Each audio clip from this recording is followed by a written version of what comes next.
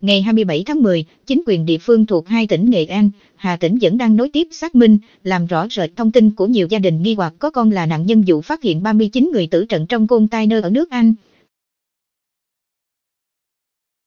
Trong ngôi nhà tại xã Thanh Lộc Can Lộc, Hà Tĩnh, ông Nguyễn Đình Gia kể gia đình đã trình báo việc đàn ông Nguyễn Đình Lượng 1999, mất tích từ hôm 23 tháng 10. Căn nhà đang thành lập dở dang, tiếng khóc của người thân vọng ra ở khắp nơi. Mấy hôm nay, gia đình ông Gia đã chuẩn bị ghi ảnh cậu đàn ông, trong lúc hy vọng tin tức chính thức. Ông kể, sau sự việc 39 thi thể được phát hiện trong thùng container trên chiếc xe đang đổ ở khu công nghiệp Quertelade, thị trấn Rai, một người đam mê thủ của lượng ở phát điện về báo với gia đình không liên lạc được với anh này và nói xe chở con ông sang trọng anh gặp gỡ tay họ rồi. Dù có linh cảm con mình là một trong số những nạn nhân trong xe container nhưng ông Gia vẫn tin vào một điều may mắn. di ảnh tạm của L. Tại nhà riêng. Thanh niên 20 tuổi là người con thứ 6 trong gia đình có 8 anh chị em. Sau khi học hoàn thành cấp 3, Lượng tự liên hệ qua nhiều mối giới thiệu để qua Pháp làm việc. Đến cuối năm 2017, Lượng ra Hà Nội làm thủ tục sang trọng Pháp.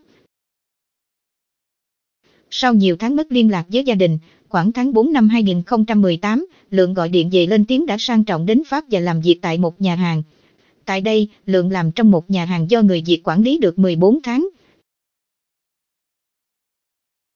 Ông Gia cho biết, giữa tháng 10 năm 2019, Lượng gọi điện lên tiếng sẽ đi qua Anh làm việc cùng bạn bè với công việc ý muốn cho thu nhập cao hơn.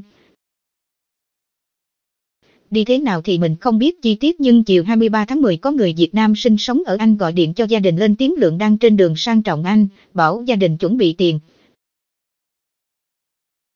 Khi nào sang trọng được anh hoàn toàn và cháu điện về thế hệ gửi tiền sang trọng trả cho họ còn cháu không điện về thì thôi, ông Gia kể. Ông Gia kể, theo lời đàn ông ông, từ Pháp sang trọng Anh có hai cách. Một là cỏ, hai là diêm có là đi khổ cực, dễ bị lộ, còn Diêu thì ít vất giả, an ninh, được đảm bảo, tỷ lệ bị phát hiện thấp. Con tôi nói là đi theo đường di an ninh nhưng xe như thế này thì đây là đường có rồi, ông Gia bày tỏ. Nhớ lại lần cuối thì thầm với con qua máy tính bảng, ông Gia bảo hôm đó con ông nói đang trên đường đi từ Pháp sang Trọng Anh lượng điện về bảo đường đi dứt giả, ông gia đã khóc, khuyên con đừng đi.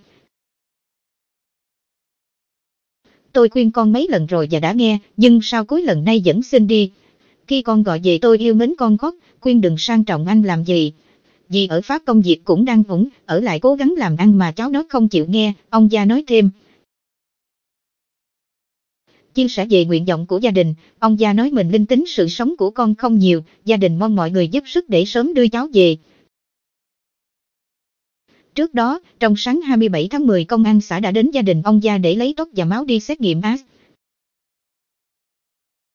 Ông Nguyễn Đình Gia kể về quá trình làm việc của đàn ông ở châu Âu và quyết định sang trọng Anh.